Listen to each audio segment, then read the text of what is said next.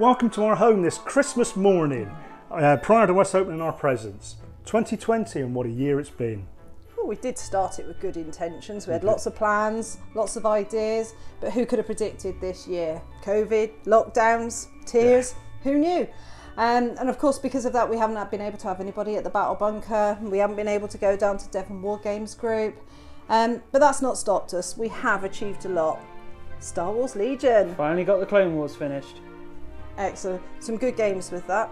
Um, also, obviously, the Blitzkrieg Germans, the Brits, and the terrain ready for the Christmas game.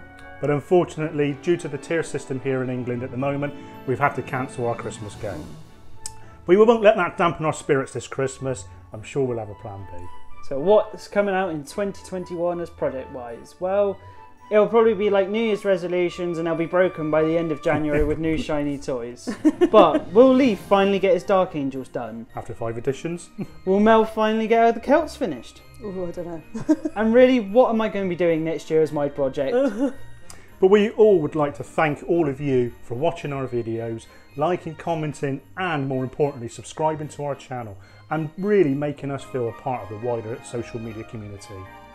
I think there's only one thing left to say, really. Merry Christmas.